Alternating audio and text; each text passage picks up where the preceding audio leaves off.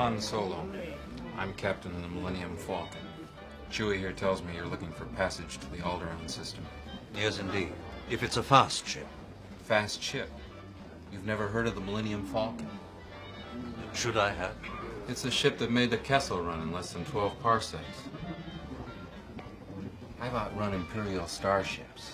Not the local bulk cruisers, mind you. I'm talking about the big Corellian ships now. She's fast enough for you, old man. What's the cargo? Only passengers. Myself, the boy, two droids, and no questions asked. What is it, some kind of local trouble? Let's just say we'd like to avoid any Imperial entanglements. Well, that's the real trick, isn't it? And it's going to cost you something extra. 10,000, all in advance. 10,000? We can almost buy our own ship for that. But who's going to fly it, kid? You? You bet I could. I'm not such a bad pilot myself. We don't have to sit here and listen.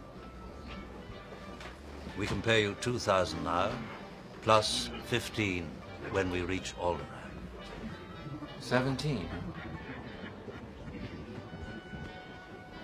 Okay, you guys got yourselves a ship. We'll leave as soon as you're ready. Docking Bay 94. 94. Looks like somebody's beginning to take an interest in your handiwork. All right, we'll check it out.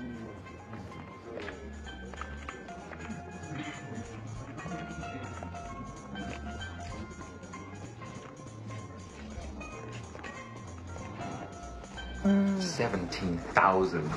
Those guys must really be desperate. This could really save my neck. Get back to the ship. and Get her ready.